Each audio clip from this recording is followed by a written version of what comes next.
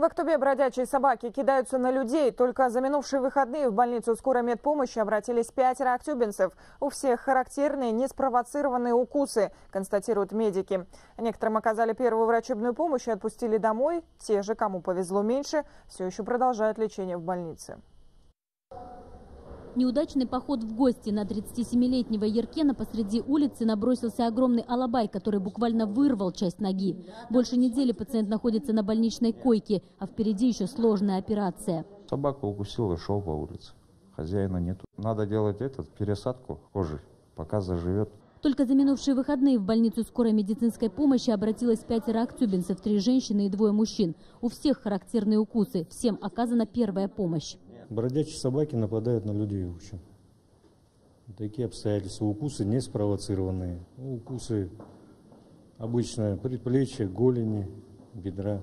На улицах сегодня небезопасно. И в частном секторе, и во дворах многоэтажек бродячие голодные собаки сбиваются в стаи, пугая прохожих. Больше всего страшно за детей, делятся переживаниями горожане. Борьбу обычно проводили всегда, но в этом году не чувствуется и не видно. Боимся этих собак. Внук, внучка тоже не... Когда на улице ходят, они тоже опасны же для детей. Я считаю, что они не должны ходить по улицам. Однако из местного бюджета в этом году выделено 15 миллионов тенге на отлов бродячих псов. На одно животное в среднем предусмотрено около 3 тысяч тенге. Усыпляют животное дротиком. Никакой стрельбы, хлопков и тем более крови.